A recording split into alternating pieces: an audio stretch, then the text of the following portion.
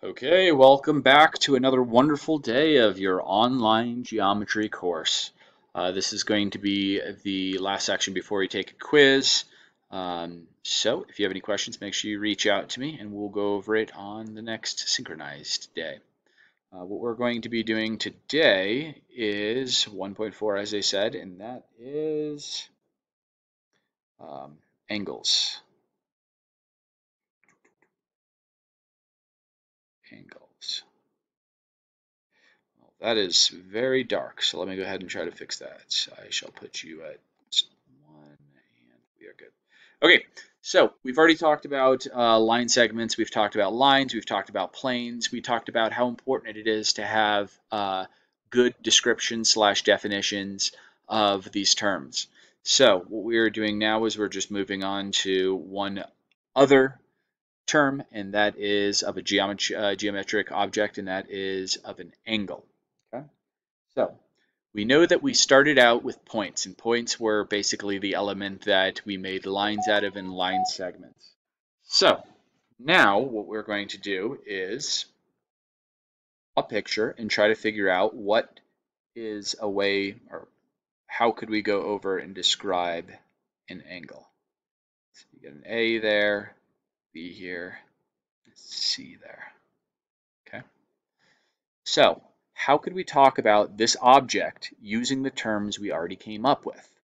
Can we use a line segment? Can we use a line? Kind of seems like two lines coming together, but lines go in opposite directions forever. This is strange. Well, think about this. If we had this object right here, get above it, and it was going in that direction, then you add another one over here and going in that direction. What are those objects? Well, they are two rays with a common what? Common point, just point? No, a common end point. End Okay, so we're talking about an angle, and we're talking about uh, as the two objects that come together to make it. Two rays with a common endpoint. Okay, so let's say we had this one up here, an A there, a B there, and a C there. Let's say we had a D over here. One way to name this angle would be you say angle, you actually write the word, and then you take one point on one ray, then this thing right here is called the vertex. Okay, the vertex, and then over here you would take another point. So on one side we have an A, then we have the vertex of a B, and then we go over and have on the other one a C. So one possible way of doing this is calling it angle A. Okay. Another way we could do this is we could write out angle, start on the other side, C B, A. What do we know? We know that this middle point right here is uh, talking about the vertex, okay? So that is not the same thing as BAC, okay? So one way is writing the word and then having three points. Another way of doing this is by using an angle marker, which kind of looks like a less than symbol, and then you say A, B, C. Another one would be angle A, B. Give me a point on the other one. It would be D. Okay, so those are some examples. Another way we could do it, sometimes they have a number in here and it's not talking about the number of degrees, not talking about the measure of it. So then you can go over and call it angle 1. Okay. Now, Occasionally, what you can do is you can call it angle and then you just use the vertex, B. When can you do that and when can you not do that? You can do that if there is no possible way someone could confuse what angle you're talking about. Right here, angle B is this. But if I went over and I did that, and this was A, B, C, and D. If I said angle B, how many possible angle Bs are there? One, two, and the whole thing, three. So there's three possible angle B's here. So no, I cannot use a single point. I have to use three. But if there was no way to confuse what angle we're talking about, you could just call it angle B. Okay, so that's what we need to know about angles and about notation. So let's jump into the next part, which is the measure of the angle.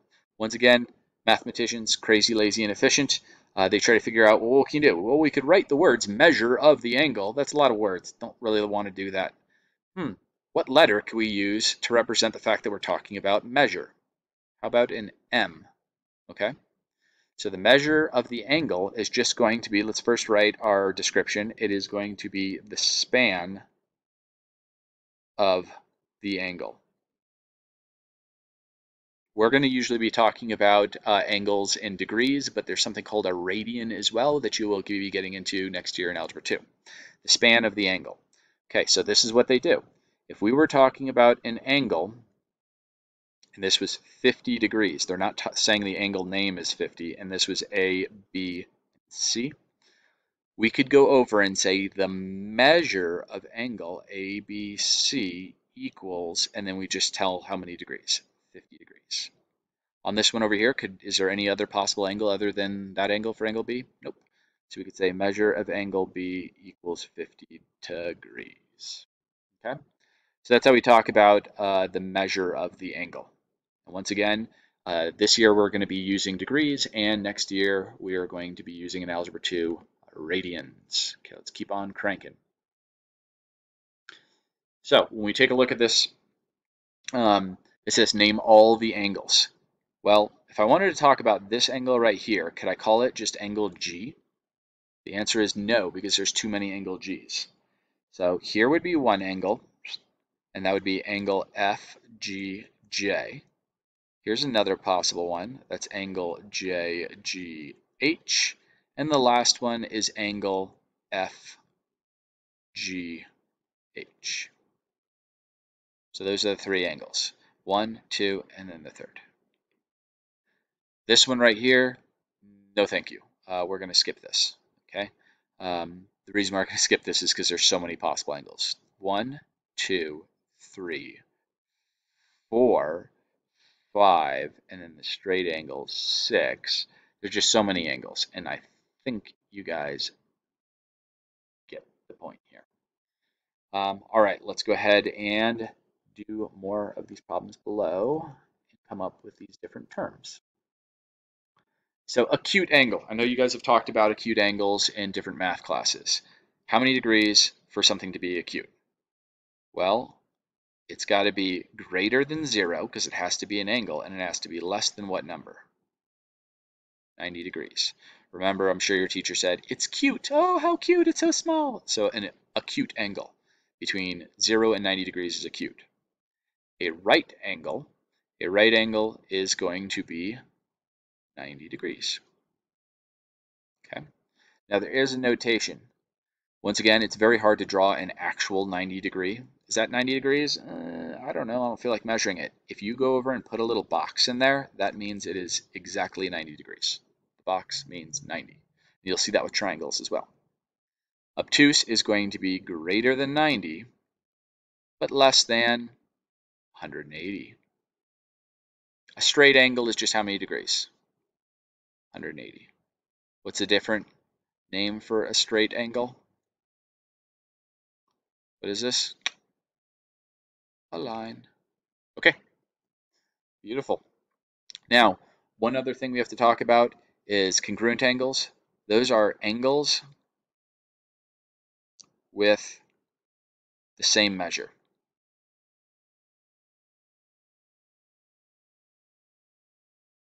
Okay, congruent still is that symbol right there, and it's still talking about the objects themselves, not their measure. So if we wanted to talk about congruent angles, let me go ahead and show you an example. Let's say we had this angle, and then this thing was splitting it in half.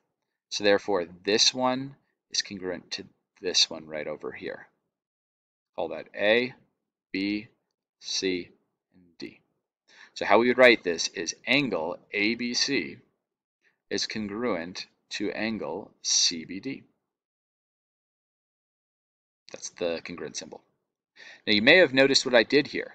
What that is, is do you remember when we were talking about if you had like a line segment, another line segment, and you wanted to say they were congruent, you just do one tick, one tick, and then you could move to two ticks, two ticks, and so on.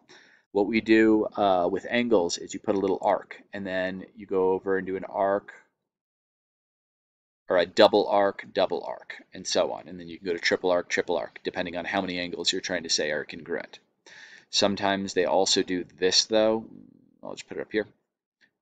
If you want to say these angles were congruent, some people go over and put a line, like a tick mark inside of that, and then they would do a double tick. Okay, so that's how we talk about the actual angles being congruent, and the symbol that we use instead of uh, tick marks, another way of doing it is one arc, one arc, two arcs, two arcs, three arcs, three arcs, and so on. All right, let's keep cranking along. Identify the congruent angles. So let's take a look here angle, oops, gotta press pencil first. Okay, on this one right here, angle L, there's only one possible thing that we could be talking about for angle L, is congruent to angle what? Angle M. Next, angle P is going to be congruent to, what is it? Angle N. Okay. Now on this one right here, it says the diagram below, KM bisects. What do you think bisects means? Cuts it into two congruent angles. Okay, so this is an angle bisector, which means that's congruent to that. It says LKN, LKN, meaning the whole entire angle is going to be 78 uh, measure of LKN, uh, la, la, la, la, la, let's see, sorry, um, LKN and uh, this, oops, messed that up. They said LKN, uh, bisects LKN, cool, but then it says LKM, LKM is right here. That's 78 degrees. Well, what else could I write in here? Well, that's got to be 78 degrees as well because those are congruent. So the whole entire thing is going to be 156 if my math is right. Okay. So this is basically saying if that is congruent to that and this one's 78, then we can write that 78 as well. Okay. Over here, it looks like we skip this. If P is 120, if P is 120, then N is what? 120. If L is 20, then what is M? 20. Okay. All right, so that's just dealing with notation and talking about when you need to have three points and when you don't. Time to switch the page. Okay, and boom, and options. Okay, we are back in business. Okay. Identify pairs of congruent angles. I think we've kind of beat this uh, down to a bloody pulp. Uh, we don't need to do more of these. Obviously, that's saying it's congruent to that. Would we need to have three points or would we need to have just one point when we're talking about the angle? Well, there's multiple possible angle k's, so we would go over and have to have three points that we're talking about because I see one, two, and the whole thing, three possible angle k's. So let's take a look at this. Finding the measure of an angle. Now, you guys should have bought um, something called a protractor. Okay, now a protractor is the thing that looks like a little rainbow.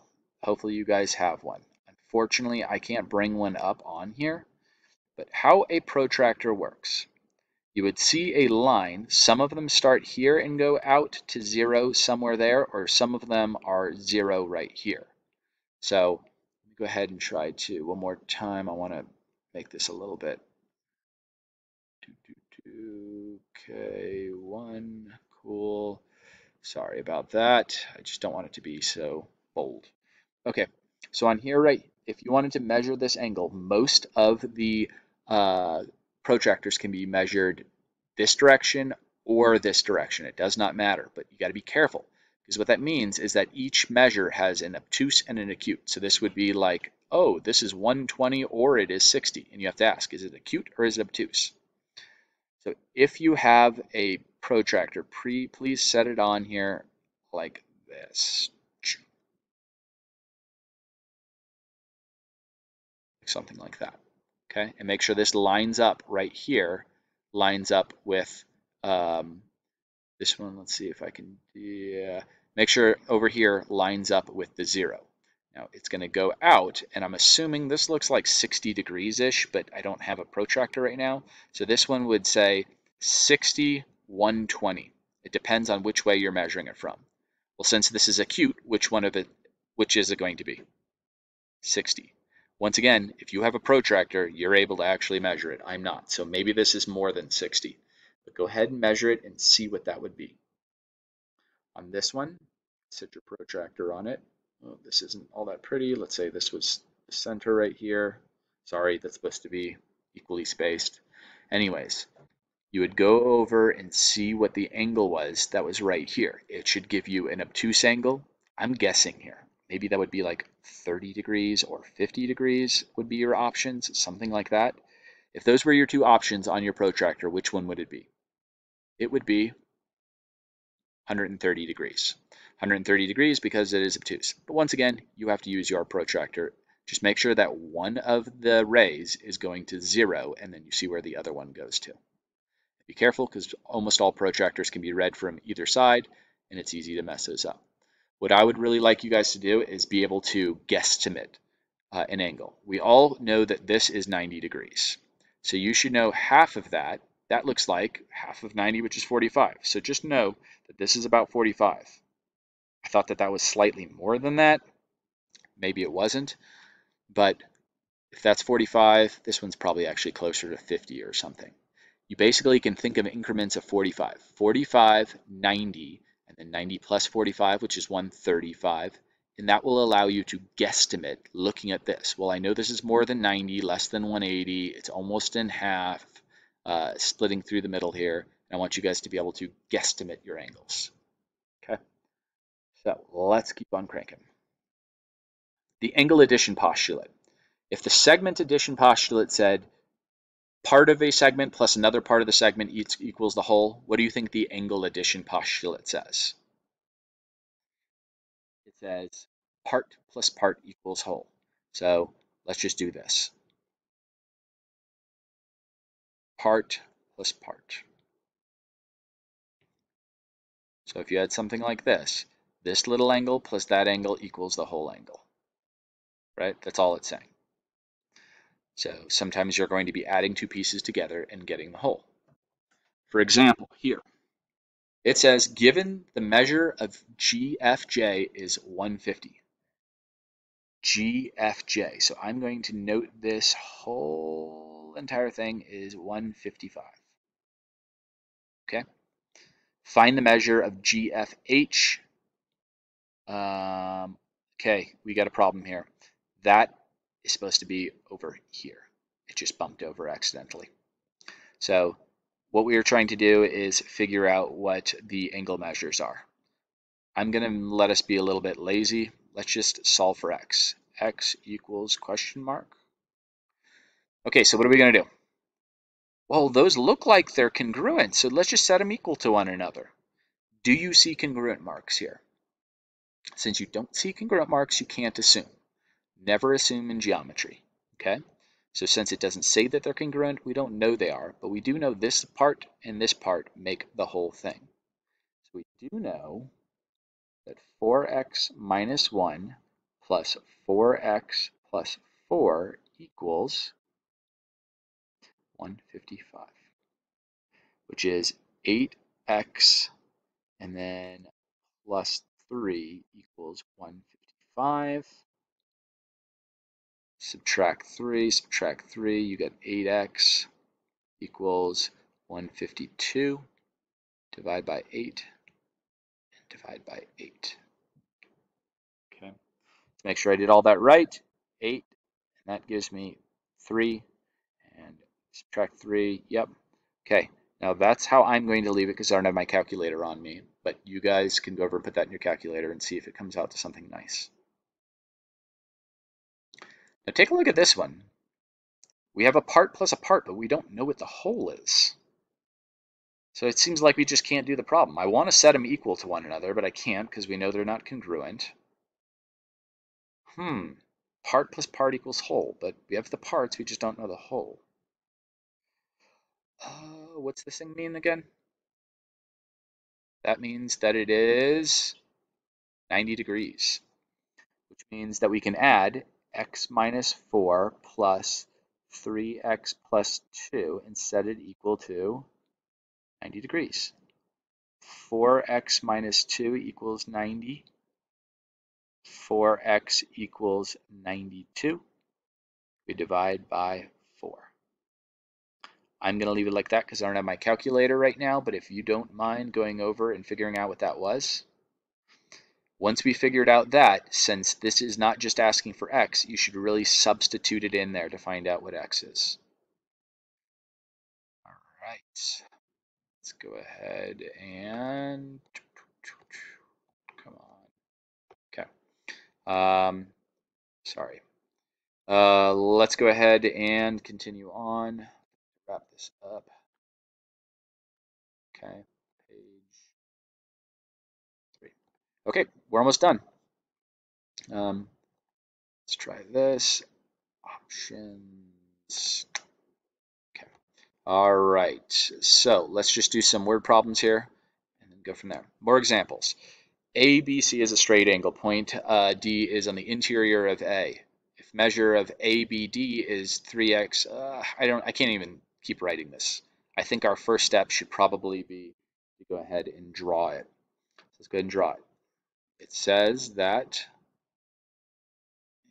options, sorry, I just, it, every time I go to a new page, it resets to a very thick pen, which is not fun to write in.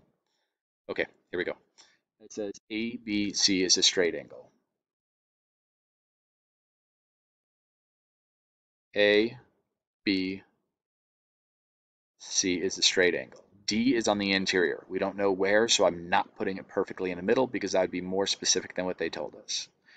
They say ABD, ABD is 3x minus 7, and they tell us that DBC is 2x plus 2. Well, I can't set them equal to one another because I don't know that they are congruent angles, and we have a part and a part, but we don't know the whole. The whole is, since it's a straight angle, the whole is how many degrees? 180. 3x minus 7 plus 2x plus 2 equals 180. So you end up with 5x minus 5 equals 180. 5x equals, you would add 5 and add 5, 185. Divide by 5, divide by 5. Once again, I don't have a calculator right now. I haven't gotten my calculator from work yet. So you would figure out what that is. Uh, let's see, mm, 37, I believe. Please, 37. Yeah, that goes into that. Three times with three left over, 37. The only thing is, is since it is asking how many degrees, technically we're supposed to substitute that into there. 2 times 37 plus 2. So 2 times 37 plus 2. That is 74, 75, 76, 76 degrees. Therefore, the other one, so that they add up to be 180, is going to be 104, if I did my math right. You guys are the one with the calculators. Check my work. Okay. Um, 74, 76, yeah, that looks right. All right, let's wrap this baby up.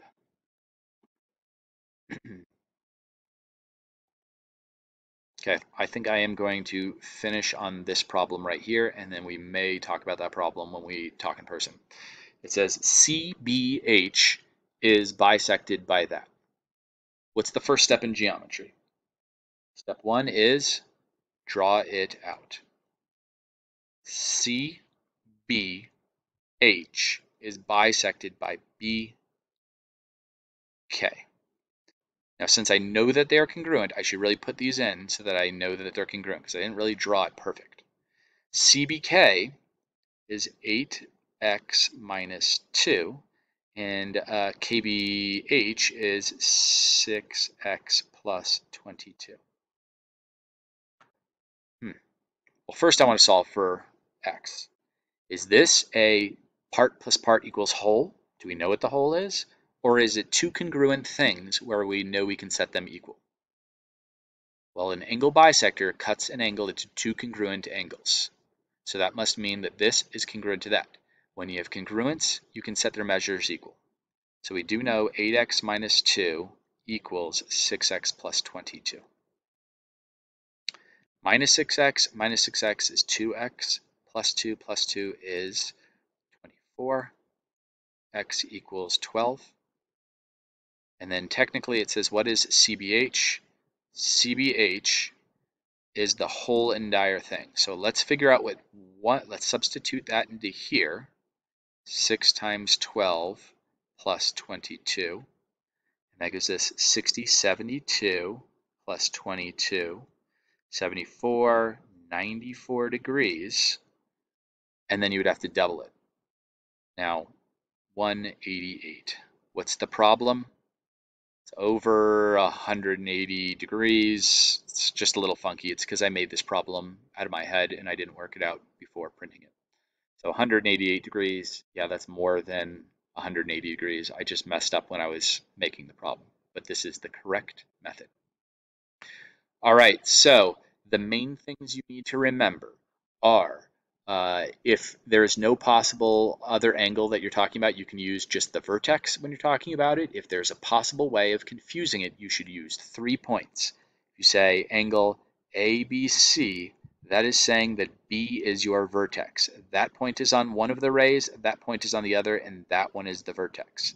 If you put an M in front, it is talking about the measure of it. And just like we have the segment addition postulate, says part of a segment plus another part equals the whole, we have the same exact thing when we're talking about angles. We also, just like we have a midpoint on a line segment, you have something that splits an angle in two, which is an angle bisector. All right, thanks a bunch for watching.